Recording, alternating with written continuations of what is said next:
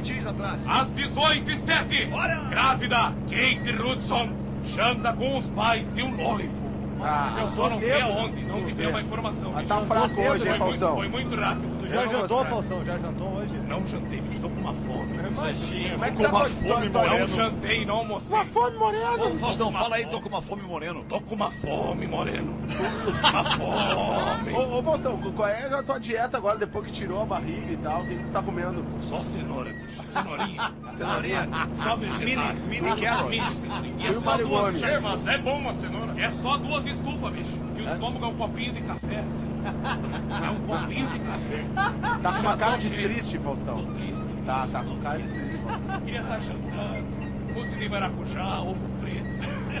Que Faz o seguinte, Faustão, compra tudo que tu quer comer, bate no liquidificador Ai, e toma. Que nojo. Beleza. Claro, é bom. Fica bem bom. Eu fiz um quadro, assim, 1994. Onde Nós era? ia na praça, Praça da Sé. No Perdidos, no Perdidos. Exato. Não, no Domingão. No Domingão, já. Eu já. batia, perguntava o que tu quer comer, bicho. Só pros mendigos, louco de fome. O que, que tu quer comer, bicho? Ele pizza. E o outro milkshake, nós batia tudo. E aí era um horror. Era um veneno, cara. Mas era bom quadro, bicho. Dava uma audiência. Valeu, uma audiência. Faustão. Legal, tá na hora de repetir. Vamos ver aí, eu vou daqui, ó. Tem uma, uma pergunta.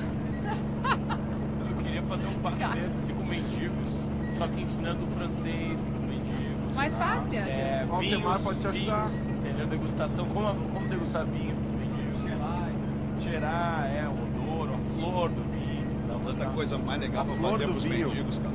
Tem um e-mail Não, isso é aqui eh, mandado pelo Rafael, assinado pelo Romeu Não, Romeu. e enviado para o Biangers. Ó. Vai saber. Tinha entendeu? o, o agarro, meu.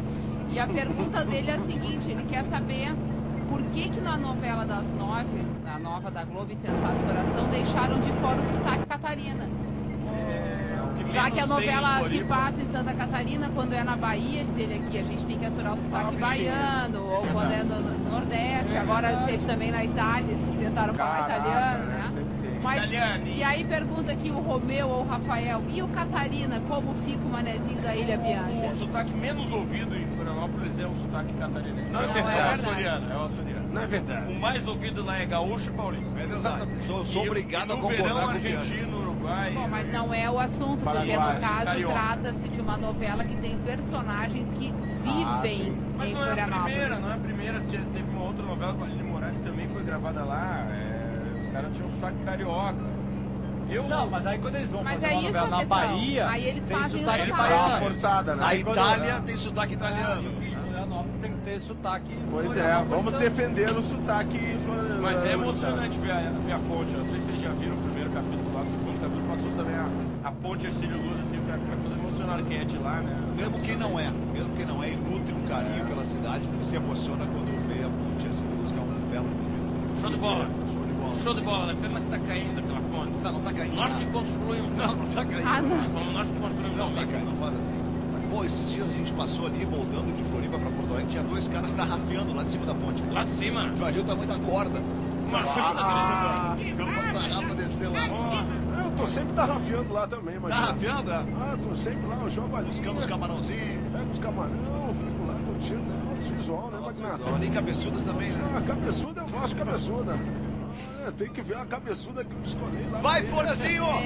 Ô, cara, hoje eu falei sobre o negócio de transplante de medula aqui no programa Isso. da UMA, né? Falei do cartão que eu ganhei e tal, e o Marcos ficou É, o. Porã, ele é. Tu é um doador. né? Doador voluntário de medula óssea. E, e aí tem uma menina que é a Nara Cristina Alves que diz o seguinte: Eu sou fã desse programa e admiro muito todos vocês. Eu estava ouvindo o programa quando ouvi um comentário a respeito do transplante de medula.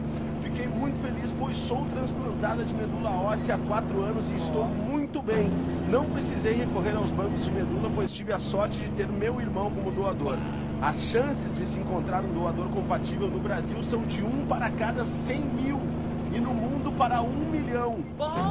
Não precisamos morrer para doar. Continuem sempre essas pessoas maravilhosas e humanas. Felicidades a todos. Beijos de Nara Cristina Doto Alves. Bonito, tá legal? Bem legal. Bacana, hein? Bacana, bacana. Querem outro aqui? Olá, pretinhos. Eu me chamo Ah, Márcio. eu não queria, não. Show. Eu não queria outro Porazinho, não. Sabe por quê, Porazinho? Porque deixa eu te É. explicar assim, ó. Ao mesmo tempo que tu espera todo mundo dar a rodada pra Não, falar, não, não. Eu, todo mundo espera. falar, Não, é "Pô, que agora ele é doador. Agora eu Ah, sou doador. doador. Então agora eu concordo. Tá, pode falar, Borazinho. É, ele Vai. tem um cartão. É, ele é um dois cartão. em um Ele é Tu que tem cartão nós. de doador de medula? Tenho, tenho Pode cartão. falar, pode falar então. Não, não, eu sei, eu, eu espero a minha vez, Tu cara. não tá? paga mais no ônibus. Não, não, não. não. Paga meia não entrada em eu não tenho cinema. nenhuma vantagem. Como é que eu tenho meu cartão aqui de, de medula óssea? Não sei se eu posso pagar meia no cinema. Não, parece que tá... eu tô passando no super Olha, seria já. justo, viu? É, Seria sei. justo. Não sei quanto, é que tá hoje. Sabe 20 que eu- hoje eu passei no super, né? No, no, no caixa, só posso passar esse aqui. Tá no Big. Lá no Big. Quer botar outra aí?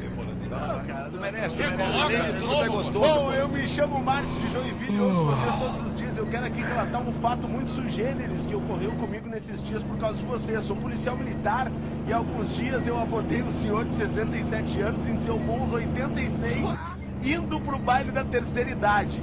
Constatando visualmente que o mesmo encontrava-se em visível estado etílico e embriagado, eu perguntei: O senhor bebeu? Ao que o cidadão responde entre alguns gaguejos: Eu não vou negar.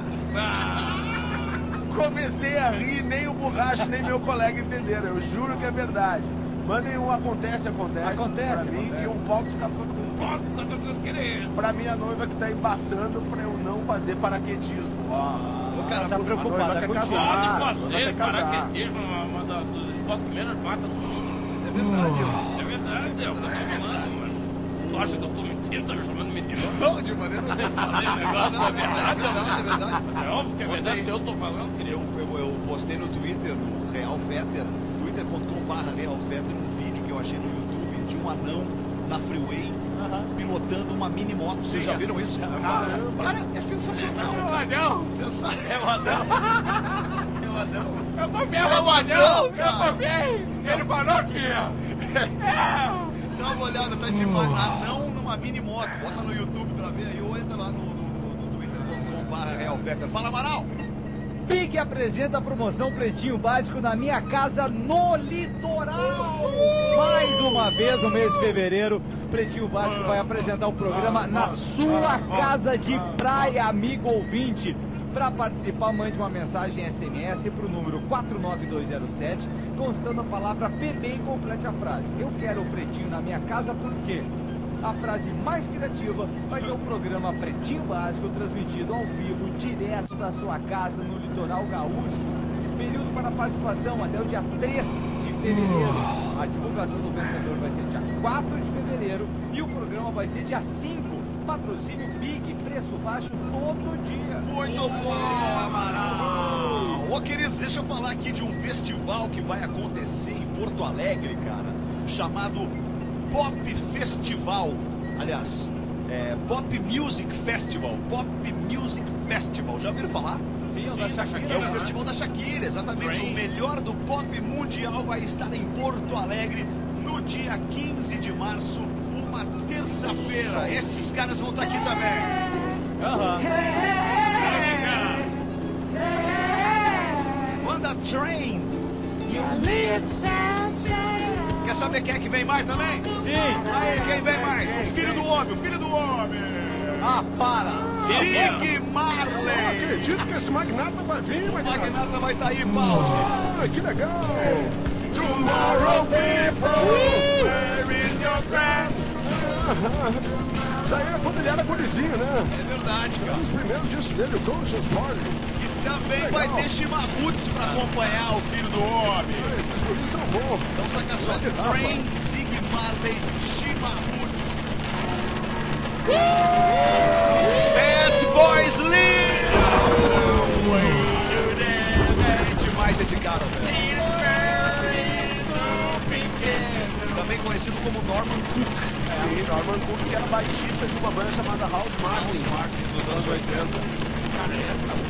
É demais. Pô, e o, o Lee, alguns anos atrás, tocou no planeta. Foi sensacional, né? Mas Mas louco essa música! cara, muito E encerrou com essa aqui, ó.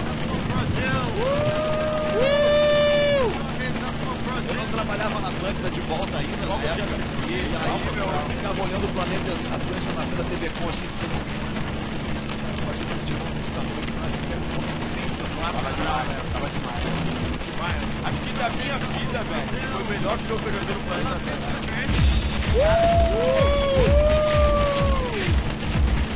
É mais uma atração confirmada no Pop Music Festival. E por último, a dona do festival, né? A louca! Maravilhosa!